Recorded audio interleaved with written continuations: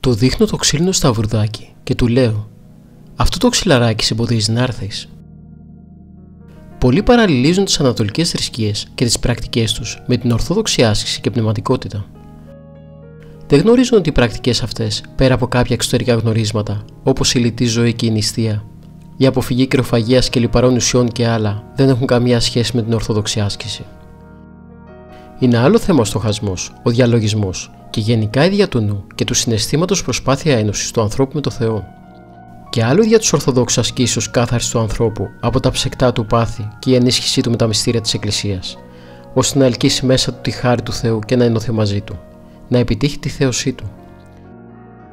Η ένωση με το Θεό δεν είναι απλώς θέμα διέτας, στοχασμού και διαλογισμού και σωματικών ασκήσεων, αλλά εσωτερικής κάθαρσης και ετοιμασίας για να γίνει ο άνθρωπος κατοικητήριο του μόνο σε απόλυτη έννοια καθαρού Θεού. Ανέφερε συχνά ο γνωστότατος σύγχρονός μας αγιορείτης ασκητής Γέροντας Παίσιος ότι πολλοί κατέφυγαν στο ερημητήριό του και τον ρωτούσαν για τη τεχνική που εφάρμοζε. Κατά τη μονολόγιστη ευχή, κύριε Σου Χριστέ, λέει σών με. Δηλαδή για τη στάση που έπαιρνε, για την τεχνική της αναπνοής που εφάρμοζε και άλλα. Και σχολίαζε θυμόσοφα ο καλό Γέροντας, πως δεν ήρθαμε στο Άγιον Όρου για να γίνουμε πρωταθλητές, την υπεροχή της Ορθόδοξης άσκησης έναντι της βουδιστικής καταδεικνύει εναργέστατα ο συγγραφέας Γιάννης Κοζαπάσης στο βιβλίο του Από το Θιβέτ στο Άγιον Όρος, στο Γέροντο Παίσιο. Το βιβλίο έχει 208 σελίδες. Τέθηκε σε κυκλοφορία το 2006 και γνώρισε 7 εκδόσεις ως τώρα και έχει μεταφραστεί στις γλώσσες Αγγλική, Ρωσική και Ρουμανική. Το βιβλίο περιγράφει τη συγκλονιστική ιστορία ενός νέου 16 ετών του Γιωργάκη, τον οποίο γνώρισε ο συγγραφέας στην ιερά μονή Σίμωνος Πέτρας του Αγίου Όρους και από το γέροντα Παίσιο. Όπως εκμυστηρεύτηκε το παιδί στο συγγραφέα, γεννήθηκε στον Πειραιά και όταν ήταν δύο ετών μεταφέρθηκε από τον ναυτικό παππού του, που ήταν καπετάνιος στα καράβια, στην περιοχή της Δυτικής Κίνας, το Θιβέτ, όπου κλείστηκε για 14 χρόνια σε βουδιστικό μοναστήρι. Έζησε εκεί μια ζωή αυστηρής άσκησης, ζωή παρθενίας με ύπνο κάτω στο πάτωμα, πάνω σε μια λεπτή ψάθα με σωματική άσκηση και εξάσκηση στις πολεμικές τέχνες. Αϊκίδο, καράτε, τάικβοντο, ζίο ζίτσου και άλλα. Δεν είχε βγει καθόλου από το βουδιστικό μοναστήρι, που ήταν άβατο σε γυναίκες, και είχε μεγάλη επίδοση σε αυτό. Μπορούσε ακόμη και να ταξιδεύει με υπερφυσικό τρόπο, χωρίς μεταφορικά μέσα, παίρνοντας φτερά από τις 40 αποθήκες, όπως λέει ο ίδιος. Με τον τρόπο αυτό ταξίδεψε πρώτα στις Ινδίες κατόπιν στο Σικάγο και μετά στη Σουηδία, όπου ήταν εγκαταστημένοι οι γονείς του. Επειδή ο πατέρας του ήταν έμπορο ξυλίας, εκεί συνάντησε τον Ορθόδοξο ασκητή, ιερομόναχο πατέρας Ευσέβιο Βίτη, που ασκήτευε σε ερημητήριο των Σερών. Ήταν γνωστός του πατέρα του και καθώς βρέθηκε στη Σουηδία, πέρασε από εκεί για μια τυπική επίσκεψη. Από τον Ορθόδοξο αυτό ερημίτη ζήτησε και έλαβε πληροφορίες για τον Χριστό και την Ορθοδοξία. Μέχρι τότε ήξερε πως μόνος αληθινός Θεός είναι ο πολυδύναμος σατανάς. Αξίζει να ακούσουμε την αφήγηση του νέου που την έκανε στο συγγραφέα του βιβλίου. Είχε προχωρήσει συζήτηση για τα καλά, όταν κάποια στιγμή ο ιερέας ζήτησε ένα ποτήρι νερό. Ήταν μια καλή ευκαιρία, σκέφτηκα, για να δείξω τη δύναμη του Σατανά διαμέσου εμού. Μην κουνηθεί κανείς, είπα σε λίγο. Θα έρθει το ποτήρι με το νερό.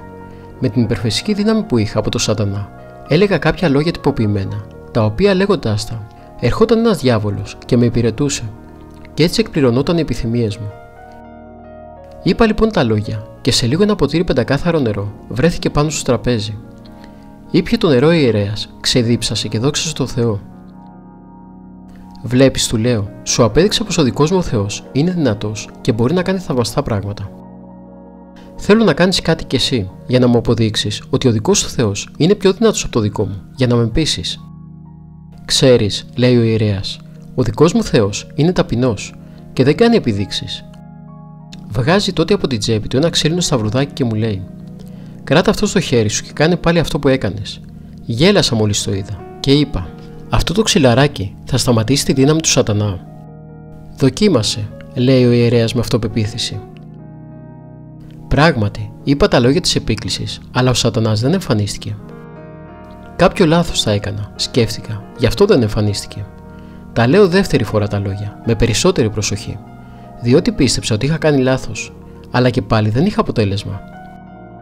Την τρίτη φορά είπα τα λόγια αργά, καθαρά, με περισσότερη προσοχή και λίγο νευριασμένα. Εμφανίστηκε μπροστά μου ο διάβολος που με περαιτούσε τρέμοντας. Τι έπαθες, του λέω, γιατί δεν έρχεσαι τόση ώρα που σε καλώ. Πέταξε αμέσως αυτό που κρατάς στο χέρι σου. Ανοίγω την παλάμη μου, του δείχνω το ξύλινο σταυρουδάκι και του λέω: Αυτό το ξυλαράκι σε εμποδίζει να έρθεις. Πέταξε αμέσως αυτό που κρατάς στο χέρι σου, ούρλιαξε δυνατά, κρύβοντας το χώρο των ματιών του με τα χέρια του, και αμέσως μας γύρισε την πλάτη του. Ζήτησα, όπως ήταν φυσικό, κάποιες εξηγήσεις, διότι μέχρι εκείνη τη στιγμή δεν είχε βρεθεί άλλη δύναμη μεγαλύτερη από αυτή του Σατανά. Γιατί δεν μου μίλησες τόσο καιρό για κάποια άλλη δύναμη μεγαλύτερη από τη δική μας; Μη δίνεις σημασία, μου λέει ο διάβολος. Έχεις δει όλα αυτά τα χρόνια που είσαι κοντά μου τόσα θαυμαστά πράγματα. Αυτά που βλέπεις τώρα είναι μια μικρή λεπτομέρεια. Αυτή η σκηνή όμως ήταν αρκετή για μια καλή ευκαιρία για να πάρω απαντήσεις σε αρκετά ερωτηματικά που δημιουργήθηκαν, αφού οι απαντήσεις που πήρα από το διάβολο δεν με κάλυψαν. Στο βιβλίο αναφέρονται και άλλα ανάλογα περιστατικά που καταδεικνύουν τη μοναδικότητα της πίστης στο Χριστό και την ασύγκριτη περιοχή της Ορθόδοξης άσκησης και πνευματικότητας. Είναι όμως δυστυχώς άγνωστα στους πολλούς και ιδίως στους νέους που διψούν για δύναμη και κυριαρχία. Γι' αυτό εύκολα παρασύρονται στα δίχτυα του Σατανά. Έτσι αρχίζει ο δρόμος που οδηγεί στην καταστροφή.